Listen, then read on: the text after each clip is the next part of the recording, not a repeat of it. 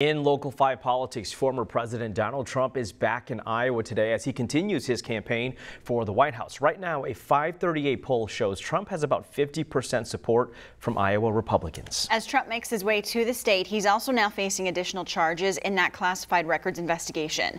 New evidence suggests that Trump asked a Mar-a-Lago employee to erase surveillance video requested by the grand jury. Now, that employee now charged with making false statements to the FBI. Last month, ABC obtained obtained an audio recording from the documents investigation in which Trump seemingly admits to storing classified documents at Mar-a-Lago. That recording being used in the case against him.